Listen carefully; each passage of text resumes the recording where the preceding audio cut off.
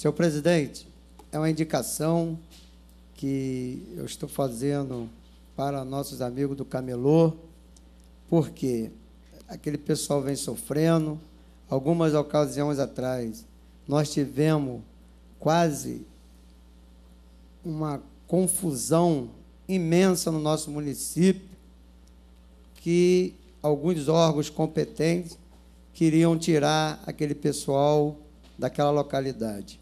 Eu tenho certeza que nossos colegas vereadores vão aprovar nessa casa, porque a gente está querendo que nossos amigos que estão ali trabalhando de segunda a segunda, que tenha um lugar digno, um lugar de respeito, que é onde a gente pode chegar sábado, domingo, feriado, naquele momento que você esquece de comprar um presente para um aniversário, para um casamento, e ali a gente encontra várias ofertas. Então a gente está com esse, essa indicação para tentar legalizar aquele pessoal. Nós, eu com minha assessoria, com a presidente do Camelô, já tivemos nos órgãos competentes, que é o Fundec,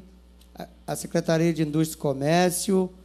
e a postura do município. Então eu peço aos colegas que aprovem essa matéria, porque eu tenho certeza que a hora que a gente chegar num camelô digno, nós vamos estar lá sendo bem recebidos por aqueles barraqueiros que sofrem ali durante a chuva, que sofrem ali que não tem um banheiro digno, tanto para eles, tanto para a gente que vamos lá comprar. Então eu peço à casa que aprove essa matéria, que eu tenho certeza que será de grande